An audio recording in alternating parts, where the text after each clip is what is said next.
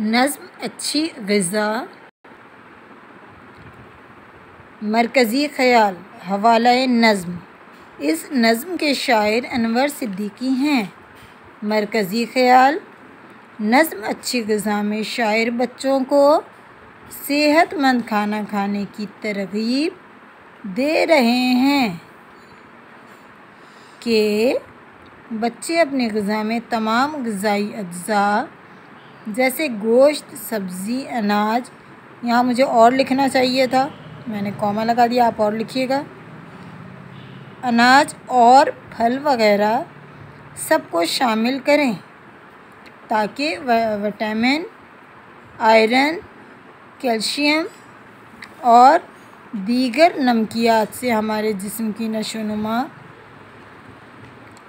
नशोनुमा पूरी हो सके।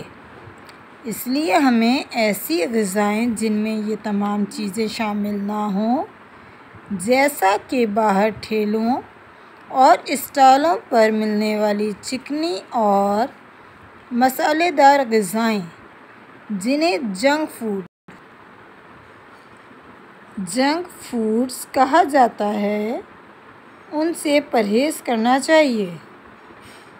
क्योंकि ये हमारी सेहत को ख़राब करते हैं।